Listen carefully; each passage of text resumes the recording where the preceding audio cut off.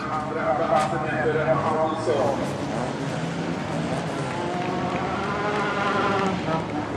Yeah, yeah.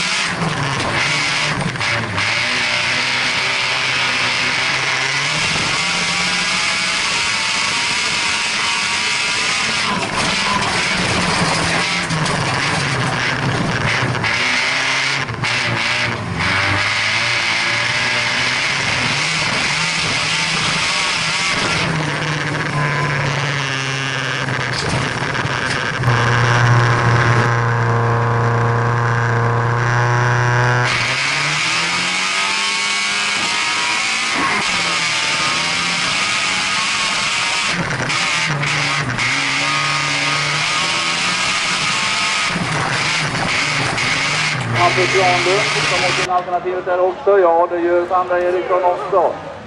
Hampus Granlund och eh, Matilda Hedell. var det väl, va? Ja, då har vi då Johan Nordén, Anton Lönn i, som etta, tvåa. Nu på sitt andra varv fortfarande. Nordén inte nästan förutom Sandra Eriksson där på um, tredje plats, från fjärde plats eh, Hampus Granlund och vi har Matilda Hedel på fjärde plats, eller femte plats, så ska det vara. Ja, Nordén in i alternativen. Nu ska vi se om Anton Lönn när han får fritt spår, han kan välja sina egna vägval, eller spår rättare sagt. Om man kan utöka sin lucka så han kan åka in i alternativspåret på det här varvet. Ja, han landade först. Och Johan Nordén också. Fantastiskt vad de eh, rycker på de här ungdomarna. Ja, Lönn, han får ett fantastiskt spår. Så han eh, håller ledningen. Han håller ledningen, inga som helst bekymmer. Johan Nordén jagar som besatt på en andra plats och vi har ju sett att det går ju faktiskt att åka förbi in mot målet här. Såg inte mycket igår. Men det är antagligen som vinner partipoängen. Johan Nordén på en andra plats. Anders Nordén, Ljusdals Motorsällskap. Och han vann ju då B-finalen. Jaha. Ready to race!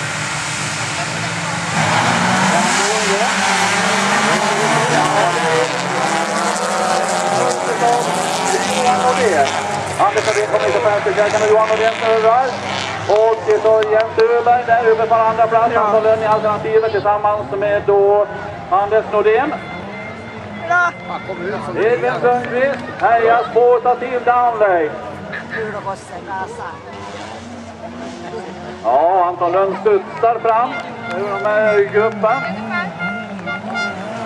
Edvin Sundqvist, Jens Öberg, Anton Lönn, Julia Granvik och Anders Nordén.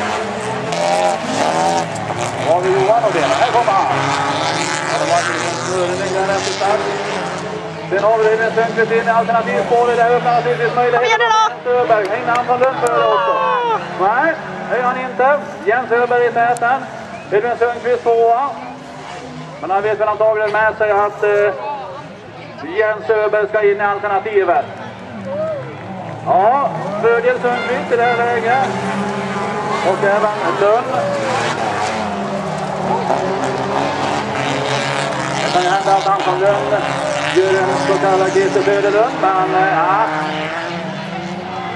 Och då Jens Öberg i Kom igen täten. då! Och sen kommer Edvin Sundqvist, han kommer ut före. Han kommer ut före och sen har vi då Johan Nordén där. Som eh, får hålla koll lite grann i backspegeln så han inte hinner nå Anton Lund och Jens Öberg. Krockar mer eller mindre. Edvin Sundqvist. Anton Lund. Då är det ready to race-skylten där. Så ska vi släppa iväg dem. Så ska vi titta framförallt, vi ska titta på allihop, men framförallt är det registrering på som har en som leder fram till idag. Skugga sig av Viktor Källgren som vi såg här med stor heatseger och Oskar Rosén som också var ute och tog en heatseger. Så att det är bara att bevisa för Anton Lönn om han ska hänga med idag så är det en sjupoängare för att tvåan, trean i kuppen har tagit heatsegrar. Så nu är det dags.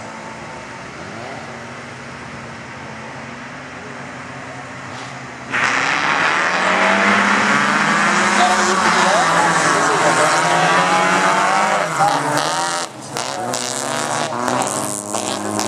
Som tar hand om ledningen före Anton Lönn. Där sticker han in på alternativet och det tackar som går upp i ledning. Oj, det känner lite på sanden där borta i alternativet. Men det är Anton Lund som rycker ifrån där framme i ledningen före Vilma Forsberg som tar hand om andra platsen.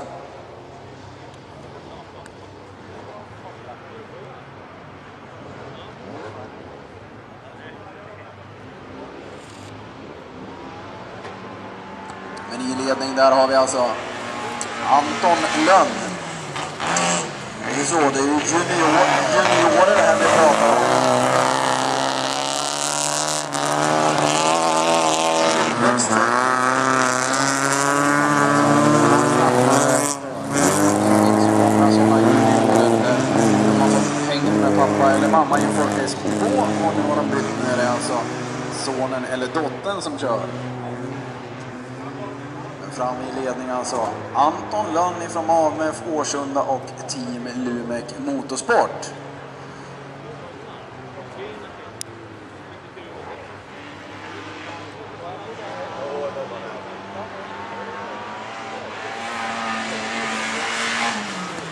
De har spridit ut sig lite bilarna. Det är lite pärlband som man brukar säga. Det kan. Som har lite kontakt. Den här fjärde platsen. Dyker han in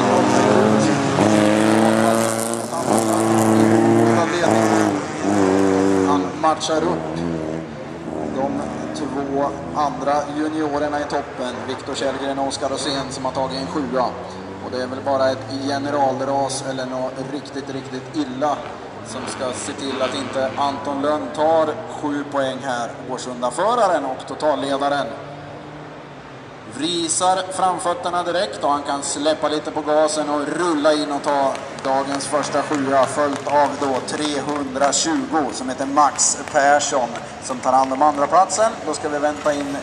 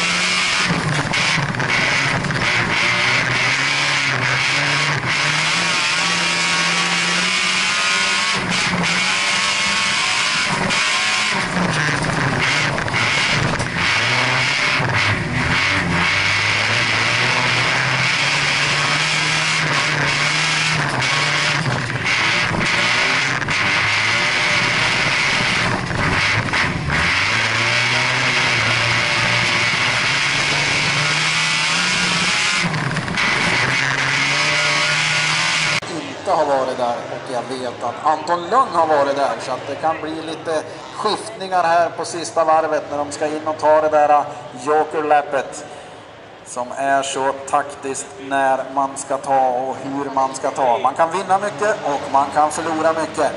Och då ska vi se om hemmaföraren lyckas hålla undan. Johan Eriksson alltså, som har hand om ledningen just nu då. Anton Lönn,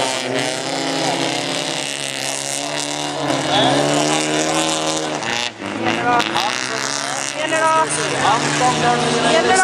är Anton Lönn som Så, ja. om ledningen. Anton Lund som redan har tagit sitt jokerlap tar hand om ledningen före hemmaföraren Lina Eriksson. Och Kasper Falk har en tredje plats. Här har jag en bil framför mig som har stannat. Det ser ut som att det är Sara Tolander. Så att har hon med sig brorsan som mekaniker idag så får väl Anders eh, sätta på sig jobbarbyxorna och börja skruva. Men i ledning och för vinst Anton Lönn följt av Lina Eriksson och Kasper Falk. Och då ska vi väl ta...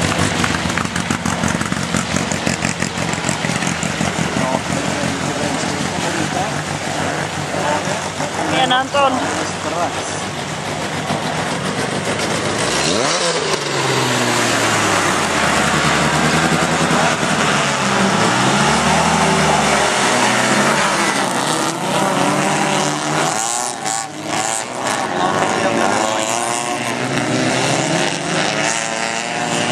Niklas Palm följt av Anton Lönn. Anton Lönn som också skott inför den här omgången.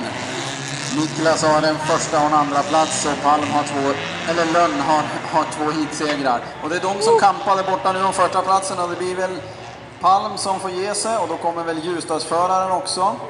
Nordén upp och tar hand om andra platsen och Palm ram, ramlar ner till en tredje. Så har vi Kasper Falk där på fjärde platsen. Men det är fortfarande tight, tight, tight mellan de tre, fyra, ja i stort sett allihopa.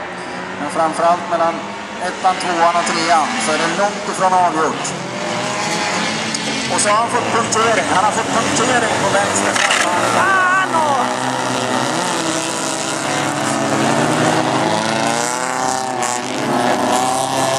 inte så att det var fart tidigare och svårkört så blir det ännu värre nu när man har en framhjulspunka på en framhjulsdriven bil. fan. Men han håller fortfarande ledningen, Anton Lönn. Alltså han har punktering på elandäcket, det ser ni där han glider ut. Och Ljusdalsföraren glider förbi där, Anders Nordén i sin Volvo. Han hoppar upp och tar hand om första platsen. men alltså han kör kanonbra, Anton Lönn. Har alltså bara ett däck som fungerar riktigt bra. Men håller fortfarande andra platsen. Men nu, nu blir han uppvaktad av Palmen.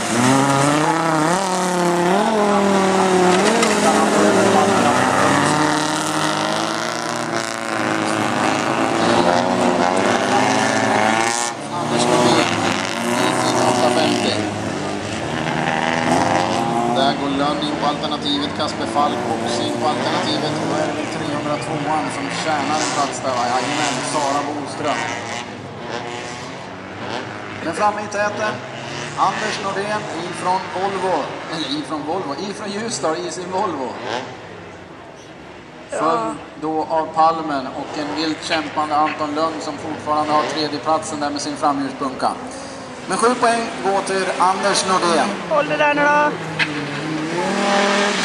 Niklas Ball. Nu ska vi se om Lönn... Ja, det ser ut som att Lönn håller sin tredje plats, vilket är en riktigt bra bedrift. Han har haft i stort sett hela heatet, men tar ändå en tredje plats. Det var snyggt kört. Sara Boström och så tar vi in Kasper Falk som troligen inte har så mycket sikt. Där får vi tummen upp och Ready to Race-skylten går.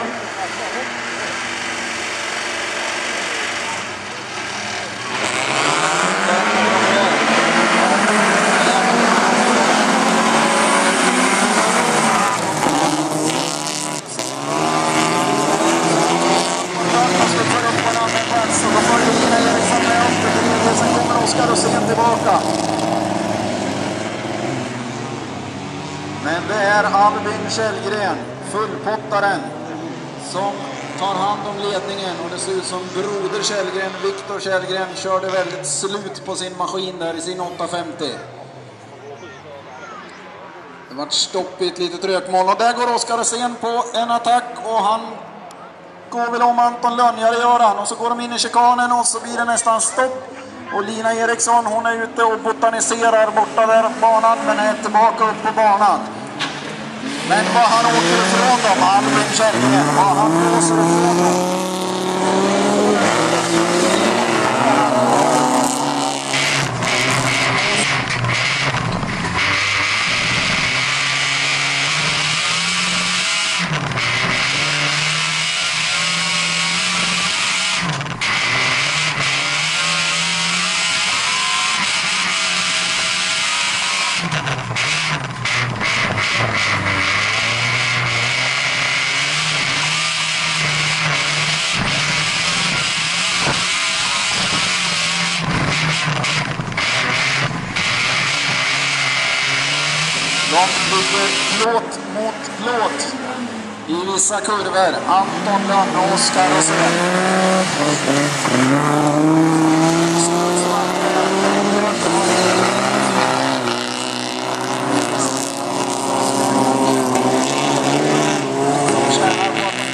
Där bakom i alla fall. Det är Albin Källgren som får åka i lugn och ro där framme.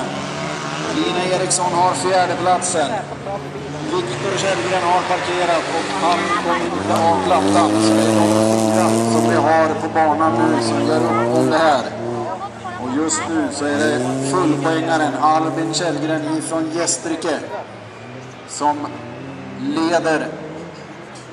Men bakom har han en vilt jagande Anton Lönn som tar i för allt vad sabeln går för att kunna skapa någon form av kontakt med Albin Källgren.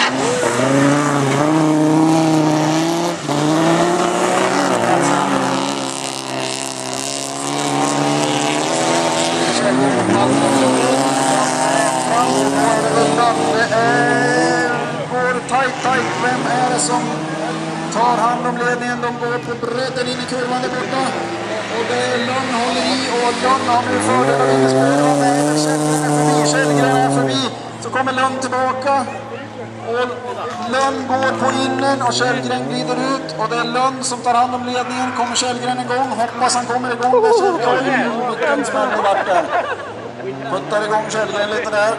Han åter med på banan. Oskar Rosén är tredje plats. Fjärde platsen har Lina Eriksson. Men nu är han uppe i ledning. Totalledaren i X-cupen.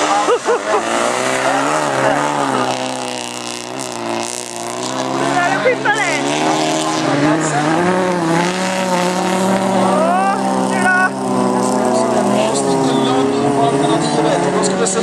är då? Nej, han kommer inte ikapp.